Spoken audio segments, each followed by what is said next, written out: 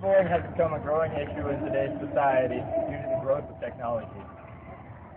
So to counter this, we support reporting more abuse for Twitter, stronger moderators, stronger moderators, faster responses to reports, and being able to take off others' Twitters without them coming back on the Twitter page.